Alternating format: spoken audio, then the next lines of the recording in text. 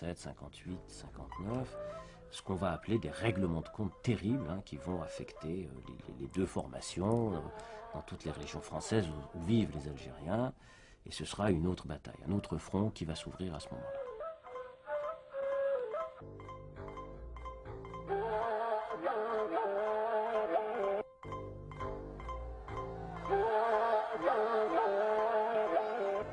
Pourquoi le FN tente de s'implanter? Parce que c'est une démarche totalisante, voire totalitaire. Donc il ne supporte pas d'avoir euh, une autre force politique qui euh, présente des aspects euh, différents. Et donc la pression est mise, mais les messaïstes se défendent. Et donc ça explique ces pointes du terrorisme en 57-58, qui est un, terrorisme interne qui s'organise au départ, c'est assez, euh, bon, c'est le raid à coups de bâton, etc. Puis ça va se sophistiquer avec la mise en place des, appareils, ce qu'on appelle les appareils militaires, puisque euh, dans chaque secteur euh, FLN ou messaliste, on met en place des groupes de choc qui sont donc des gens qui sont sur la, la technique, enfin c'est des gens qui travaillent, etc. Et à qui on fixe une mission ils reçoivent les armes, ils vont accomplir la mission, ils redonnent les armes et bon, voilà. Le FLN est un rouleau compresseur. Tout ce qui peut le gêner, il, le tue. À cause du pouvoir, uniquement. Ils sont fouillés Jazair, ni à droite ni à gauche. Voilà. Vu que je passe, il faut que je fasse le passage. Celui, celui à qui ils croient qu'ils vont les gêner sur le chemin, il est bousillé. Voilà. Donc le MNA s'est retrouvé à cette époque-là, en 1957, avec une coalition mondiale qui comprenait tous les partis communistes, qui comprenait les États tunisiens et marocains, la Ligue arabe, Franco, la, CISL, la Maison Blanche, le cartel pétrolier, dès que le pétrole est sorti, finalement, les Américains ont passé un accord aussi avec le FLN, c'est-à-dire qu'à un certain moment, plus la répression euh, en France, à un moment, il y a eu l'extermination, c'est-à-dire une véritable guerre d'Espagne, qui a liquidé finalement ceux, qui étaient les porteurs du mouvement national. Edgar Faure, il les a aidés. Mendes France, il les a aidés. Et même Guy Mollet, il les a aidés. Ah, voilà. ولات علينا احنا la répression féroce.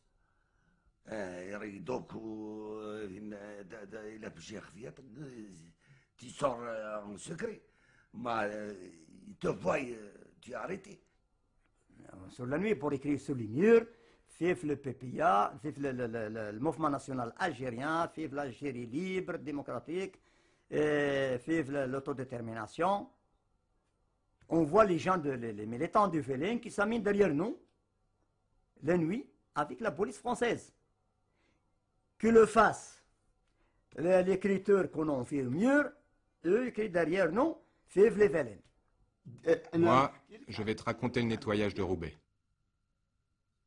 Le FLN a créé un groupe de mouchards qui balance, qui travaille avec la police accompagné du FLN. Alors, les militants du MNA, les uns après les autres, se sont tous fait arrêter. En 57, ils ont rasé Roubaix complètement avec la police. Je les ai distribuer les tracts du, du, du, comité révolutionnaire d'unité d'action et la police, ils étaient derrière. Qui c'est qui m'a fait garder? Moi, pour rester dans le MNA, c'est ça. Oh, il y avait des ordres émanant du Caire, où il il faut euh, les responsables que vous connaissez du MNA, Wallah, des militants, celui qui veut venir avec nous, ça va, celui qui ne veut pas, attends, il faut les, les, si vous pouvez. Si vous ne pouvez pas, vendez-le à la police. Puis il y a eu, en octobre 57, la liquidation physique des dirigeants politiques du MNA, c'est-à-dire ceux qui dirigeaient le syndicat, l'USTA, l'Union des syndicats des travailleurs algériens, qui ont été assassinés. Espèce de semaine sanglante en octobre 57. Deuxième coup terrible, c'est-à-dire que là, c'est l'organisation qui est frappée à la tête. Et là, les militants aussi se retrouvent seuls, désorganisés, désorientés.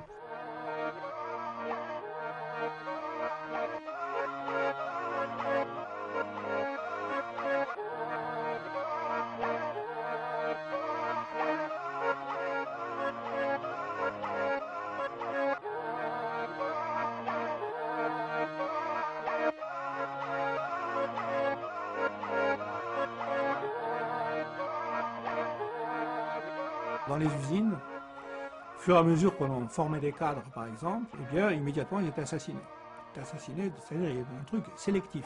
C'est-à-dire que dans les conditions de la répression générale, et dans les conditions, en définitive, où le MNA n'a aucun euh, soutien international, disons qu'il y a les médias français qui expliquent FLN, FLN, même quand il y a un attentat, même quand il y a un massacre d'Algériens, c'est toujours les Algériens tués par le, par le MNA, hein, ou après on ne parle plus du MNA. C'est-à-dire qu'on on dit attentat de terroristes, euh, c'est tout. C'est-à-dire que les sigles n'ont pas été employés. Le premier CRS, tombé avenue Simon Bolivar, dans le 19e arrondissement.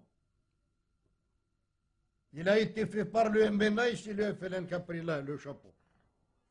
Qui a, pris là la gloire.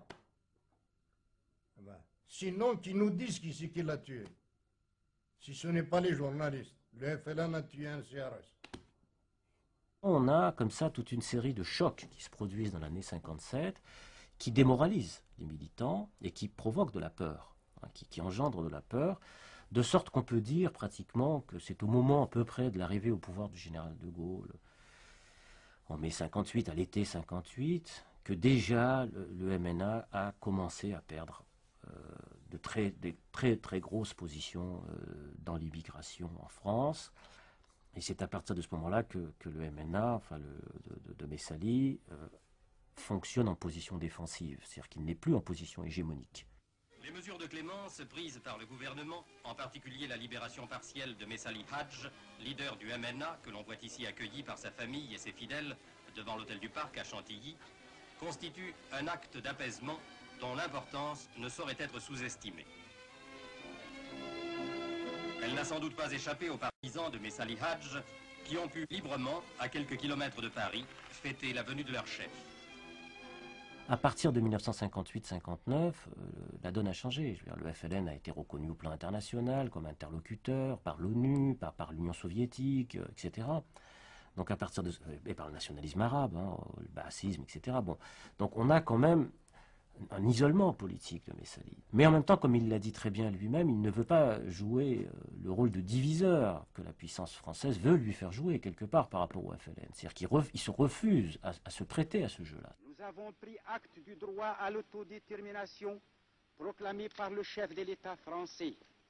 Nous nous réjouissons d'autant plus de, de ce principe de l'autodétermination qu'il a toujours été inscrit en tête de notre programme depuis l'étoile nord-africaine jusqu'au mouvement national algérien sous le mot d'ordre la parole au peuple.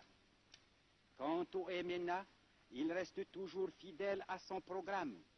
Aussi voit-il dans le gouvernement algérien par les Algériens l'annonce de l'instauration de la République algérienne, amie de la République française. Par conséquent, demain, nous irons, si nous sommes appelés, pour quoi que ce soit, que ce soit pour une table de la conférence, une table ronde pour la conférence, ou bien alors euh, pour des discussions, ou bien pour la campagne électorale, eh bien évidemment nous lutterons pour faire triompher nos idées.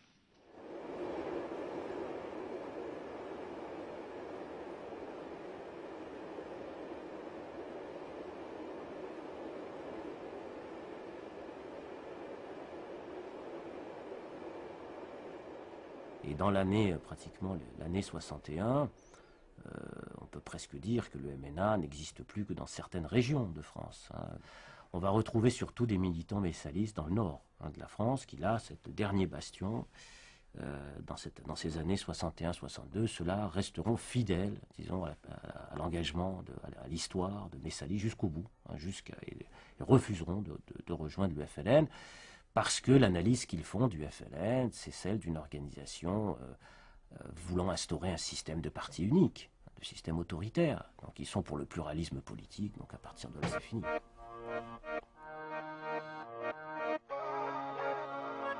Longtemps j'ai cru au mythe d'un peuple unanime, rangé derrière le seul FLN et engagé dans une lutte contre l'oppresseur colonial. La vérité était tout autre. La vérité était difficilement avouable à la génération suivante. Ironie de l'histoire, dans ce cimetière